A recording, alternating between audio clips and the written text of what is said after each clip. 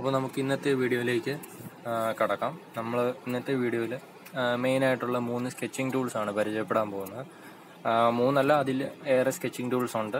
നമ്മൾ പെയിന്റിൽ യൂസ് ചെയ്യുന്ന സ്കെച്ചിങ് ടൂൾസ് പോലത്തെ ടൂൾസ് ഉണ്ട്. അതായത് ലൈന് സർക്കിൾ റെക്റ്റാങ്കിൾ അങ്ങനെയുള്ള സ്കെച്ചിങ് ടൂൾസും പിന്നെ പോളിഗൺസ് അങ്ങനെയുള്ള ഉണ്ട്. അത് അതിലുപരി നമുക്ക് സ്പ്ലൈൻ ആർക്ക് അങ്ങനെയുള്ള സ്കെച്ചിങ് ടൂൾസ് നമുക്ക് സോൾഡ് വർക്സിൽ അവൈലബിൾ ആണ്.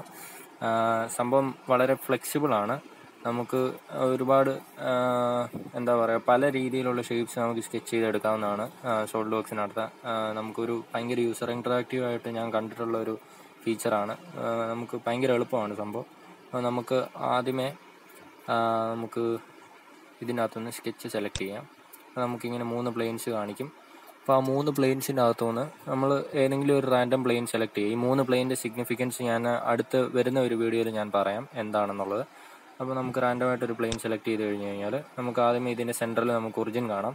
അപ്പോൾ നമ്മൾ വരയ്ക്കുന്ന കാര്യങ്ങളെല്ലാം അതായത് നമ്മൾ സ്കെച്ച് ചെയ്യുന്ന കാര്യങ്ങളെല്ലാം നമ്മൾ മാക്സിമം ഒറിജിനോട് ബന്ധപ്പെടുത്തി ചെയ്യാനായിട്ട് ശ്രമിക്കുക. കാരണം നമുക്കൊരു നമ്മൾ ഈ സ്കെച്ചിനെ എല്ലാം നമ്മൾ ഡിഫൈൻ ചെയ്ത് നമ്മൾ കൺസ്ട്രെയിൻ ചെയ്ത് വെച്ചാൽ കൺസ്ട്രെയിൻ എന്ന് പറഞ്ഞു കഴിഞ്ഞാൽ നമുക്ക് ഇതിന്റെ ഡയമെൻഷൻസ് എല്ലാം പക്ക ആക്കി കൊടുത്താലേ ഉള്ളൂ. നമുക്കിതിന്റെ ഒരു പെർഫെക്റ്റ് ആയിട്ടുള്ള ഡിസൈൻ നമുക്ക് ചെയ്യാൻ സാധിക്കത്തുള്ളൂ. അപ്പം അതിനു വേണ്ടിയാണ് നമ്മൾ ഒറിജിനോട് അനുബന്ധപ്പെടുത്തി വരയ്ക്കാനായിട്ട് നമ്മൾ പറയുന്നത്.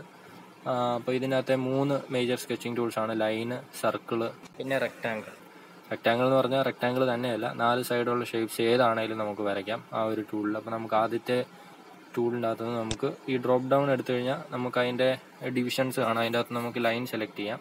ലൈൻ സെലക്ട് ചെയ്ത് കഴിഞ്ഞ് കഴിഞ്ഞാൽ നമുക്ക് ഇവിടെ കിട്ടുന്ന ഒരു കാര്യം എന്ന് പറഞ്ഞാൽ നമ്മൾ സെലക്ട് ചെയ്തിട്ട് നമുക്ക് ഇങ്ങനെ ഡ്രാഗ് ചെയ്തിട്ട് പിന്നെയും ക്ലിക്ക് ചെയ്താൽ മതി. അപ്പം ഇങ്ങനെ നമുക്ക് ഡ്രാഗ് ചെയ്ത് ഡ്രാഗ് ചെയ്ത് മുന്നോട്ട് മുന്നോട്ട് പോകാം.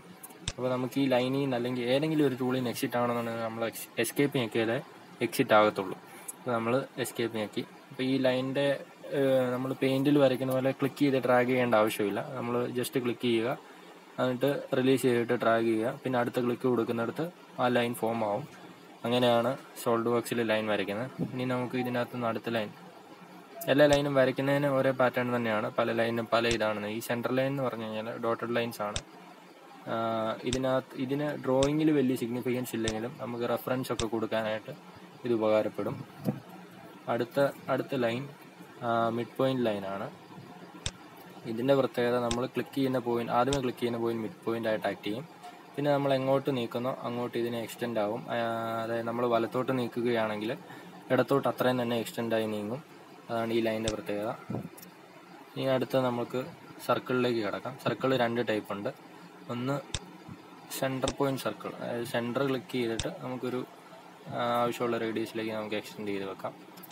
അതുപോലെ തന്നെ അടുത്ത സർക്കിളാണ് പെരിമീറ്റർ സർക്കിൾ പെരിമീറ്റർ സർക്കിളിന്റെ ഒരു പ്രത്യേകത എന്ന് പറഞ്ഞു കഴിഞ്ഞാൽ നമുക്ക് രണ്ട് എഡ്ജസ് അതായത് സർക്കിളിലുള്ള ഏതെങ്കിലും രണ്ട് പോയിന്റ് സ്പെസിഫൈ ചെയ്യാം. അത് കഴിഞ്ഞ് നമ്മൾ ഡ്രാഗ് ചെയ്യുന്നതനുസരിച്ച് ആ, ഇത് കണ്ടാൽ അറിയാം ഞാൻ മുകളിലോട്ട് ഡ്രാഗ് ചെയ്യുകയാണെങ്കിൽ മേളിലേക്ക് ഇത് എക്സ്റ്റെൻഡ് ആവും. താഴേക്ക് ഡ്രാഗ് ചെയ്യുകയാണെങ്കിൽ താഴേക്ക് എക്സ്റ്റെൻഡ് ആകും അപ്പോൾ ഏതെങ്കിലും ഒരു രണ്ട് പോയിന്റിനെ സ്പെസിഫൈ ചെയ്തിട്ടാണ് നമ്മൾ ഈ സർക്കിൾ വരയ്ക്കുന്നത്. സെന്ററിന് ഇവിടെ വലിയ പ്രാധാന്യമില്ല. സെന്റർ അതിനനുസരിച്ച് മാറുന്നുണ്ട്. നമ്മൾ നീക്കുന്നതനുസരിച്ച്. അപ്പോൾ നമുക്ക് അടുത്ത സ്കെച്ചിങ് ടൂളിലേക്ക് കടക്കാം. ഇതിനകത്ത് നമ്മൾ റെക്റ്റാങ്കിളിന്റെ ഫസ്റ്റ് ഇതാണ് കോർണർ റെക്റ്റാങ്കിൾ കോർണർ റെക്റ്റാങ്കിൾ എന്ന് പറഞ്ഞു കഴിഞ്ഞാൽ ഒരു രണ്ട് കോർണേഴ്സ് നമുക്ക് സ്പെസിഫൈ ചെയ്യാം. അങ്ങനെ ഒരു റെക്റ്റാങ്കിൾ വരയ്ക്കുന്നത് അപ്പം നമുക്ക് ഒരു കോർണർ അടുത്ത കോർണർ ഒരു കോർണർ അടുത്ത കോർണർ അങ്ങനെയാണ് ഈ റെക്റ്റാങ്കിൾസ് വരയ്ക്കുക. ഇനിയും അടുത്ത ഒരു ഈ റെക്റ്റാങ്കിളിന്റെ അടുത്തൊരു സെക്ഷനാണ് സെന്റർ റെക്റ്റാങ്കിൾ അതായത് നമ്മൾ ഫസ്റ്റ് ക്ലിക്ക് ചെയ്യുന്ന പോയിന്റ് സെന്റർ ആയിരിക്കും. സെക്കൻഡ് ക്ലിക്ക് ചെയ്യുന്ന പോയിന്റ് ഏതെങ്കിലും ഒരു കോർണർ ആയിരിക്കും. അപ്പം നമുക്ക് ഇങ്ങനെ വരച്ചെടുക്കാവുന്നതാണ്. അടുത്ത റെക്റ്റാങ്കിൾ എന്ന് പറഞ്ഞു കഴിഞ്ഞാൽ ത്രീ പോയിന്റ് കോർണർ റെക്റ്റാങ്കിൾ അതായത് മൂന്ന് പോയിന്റ്സ് മൂന്ന് കോർണേഴ്സ് നമുക്ക് സ്പെസിഫൈ ചെയ്യാം. പിന്നെ രണ്ട് മൂന്നാമത്തെ കോർണർ അങ്ങനെ മൂന്ന് പോയിന്റ് അത് ഏത് മൂന്ന് കോർണർ ആണെങ്കിലും നമുക്ക് സ്പെസിഫൈ ചെയ്തെടുക്കാം. അപ്പോൾ ഇതിനകത്ത് റെക്റ്റാങ്കിളെ വരത്തുള്ളൂ. നമ്മൾ എങ്ങനെ ചരിച്ച് വരച്ചാലും. അത് നമ്മൾ പ്രത്യേകം ശ്രദ്ധിക്കേണ്ട ഒരു കാര്യമാണ്. ഇനി അടുത്ത ഒരു ഇതെന്ന് പറഞ്ഞു കഴിഞ്ഞാൽ ത്രീ പോയിന്റ് സെന്റർ റെക്റ്റാങ്കിൾ അതായത് ഫസ്റ്റ് നമ്മൾ ക്ലിക്ക് ചെയ്യുന്ന പോയിന്റ് സെന്റർ അടുത്ത് നമ്മൾ ക്ലിക്ക് ചെയ്യാൻ പോകുന്ന പോയിന്റ് ഒരു എഡ്ജിന്റെ മിഡ് പോയിന്റ് ഏതെങ്കിലും ഒരു എഡ്ജിന്റെ മിഡ് പോയിന്റ് പിന്നെ നമ്മൾ ക്ലിക്ക് ചെയ്യാൻ പോകുന്ന ഒരു സെന്റർ അതായത് ഫസ്റ്റ് നമ്മൾ ക്ലിക്ക് ചെയ്യുന്ന സെന്റർ അടുത്ത ഏതെങ്കിലും ഒരു എഡ്ജിന്റെ മിഡ് പോയിന്റ് അടുത്ത ഏതെങ്കിലും ഒരു കോർണർ അങ്ങനെയാണ് ഈ റെക്റ്റാങ്കിൾ വരയ്ക്കുക. ഇനി ഇതിന്റെ ലാസ്റ്റ് സെക്ഷൻ പാരലലോഗ്രാം പാരലോഗ്രാം എന്താണെന്ന് നമുക്ക് പ്രത്യേകിച്ച് പറഞ്ഞു തരേണ്ട ആവശ്യമൊന്നുമില്ല. ആംഗുലറായിട്ട് നമുക്ക് സെറ്റാക്കാം അതാണ് പാരലോഗ്രത്തിന്റെ പ്രത്യേകത. ഇതിന്റെ ഓപ്പോസിറ്റ് സൈഡ് ഈക്വലായിരിക്കും അതാണ് ഇതിന്റെ ഒരു പ്രത്യേകത.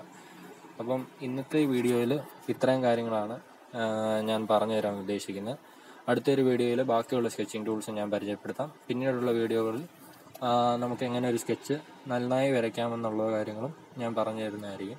ഇന്നത്തെ വീഡിയോയിൽ പറഞ്ഞു തന്നെല്ലാം മനസ്സിലായെന്ന് വിചാരിക്കുന്നു.